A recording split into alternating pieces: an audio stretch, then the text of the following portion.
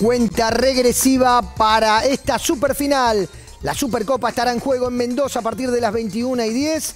Boca River, River Boca paralizarán a todo el país y gran parte del ambiente futbolístico del mundo. Bueno, una final que se repite después de 42 años, cuando con el gol fantasma de Suñé, Boca venció a River Plate. Lo recordamos con el ruso Rivolsi y también con el Pinino Más. ¿Qué es lo que más recuerdan de, aquella final?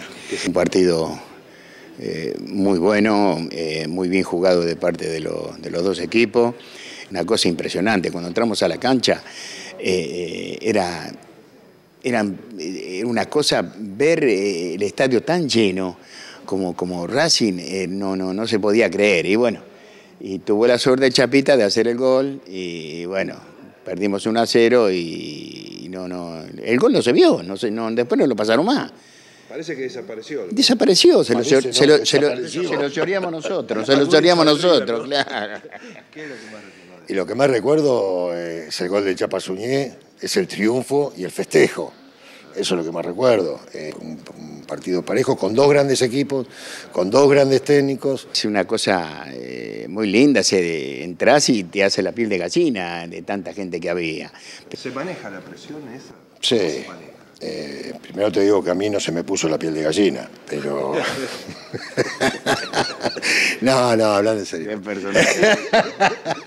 Eran dos equipos, si vos empezar por River, eh, Filiol, eh, Pasarela, Pinino, Luque, JJ, y vas por Boca y entras a Gatti, Pancho Sá, el Chapazuñeto, es decir, eran jugadores con jerarquía, con historia, la mayoría campeones, tanto River como Boca. La experiencia te indica que estos partidos no se juegan solo futbolísticamente.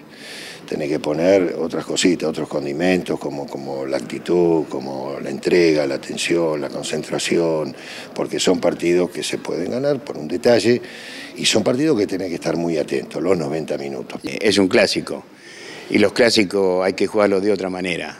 Va a haber, va a haber roce seguro porque un River y Boca siempre va a haber rosé.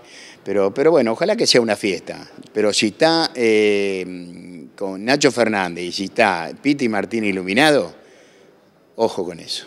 ¿Y Boca? ¿Por qué gana? ¿Cómo gana? Para mí por el funcionamiento que ha logrado, más allá de algunos altibajos, pero creo que tiene equipo como para manejar el fútbol, caso de Pérez, de Teve, de Cardona, tiene gente en ofensiva importante, y sabiendo lo que es la camiseta de Boca, y saber también que estás enfrentando la camiseta de River, que son dos grandes. Y bueno, si, si, si gana, esa es, otra cosa, cambia totalmente, ¿no? Pero, pero bueno, ojalá, te vuelvo a reiterar, ojalá que sea una fiesta. ¿Y para Boca qué cambia? Yo digo que es un partido que hay, hay dos caminos.